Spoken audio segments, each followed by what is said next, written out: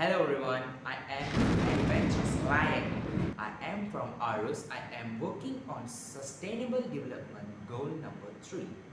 I am working to solve school students' problem during this COVID-19 pandemic. The problems, for example, they are following the new rules in school. I will interview them about their feelings. They were given lots of comments. The first comment is, as they said it, they could not wear mask at all the time. It will be the one of the problem is breathing problem. Secondly, their temperature also change like a roller coaster.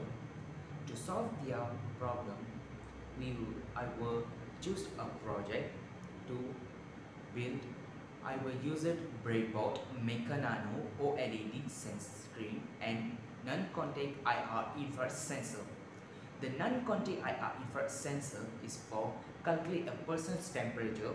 Moreover, the OLED screen for show the temperature in the OLED screen. As you can see the programs to So these are the temperature face shield codes.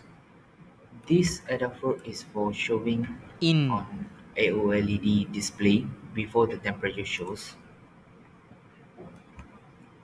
And then these are the codes of OLED screen.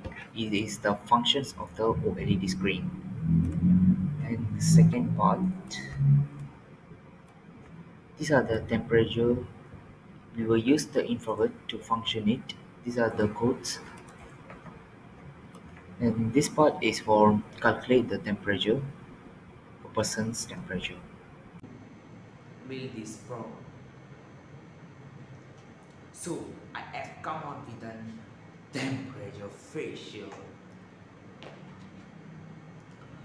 I will combine temperature face shield and also infrared. So it becomes temperature face shield. When students are entering school, teachers can give it to the students. They must wear it on top, just like I, just like it. and then it will be the one of the successful project to solve their problem. I get some difficulty while making my Problem. project. Before I use it Maker Nano, I will use it Maker Uno. Maker Uno size was very big and it's not fit to my face shield.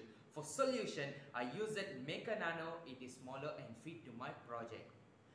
In future, I would do my project differently. For example, I will use buzzer. If a person's temperature was very high, the buzzer will make sound.